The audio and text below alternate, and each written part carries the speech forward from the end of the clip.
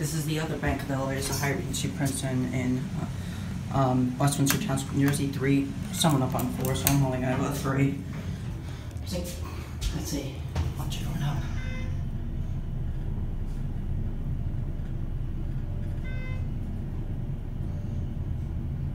Here, three, one. Third floor looks like.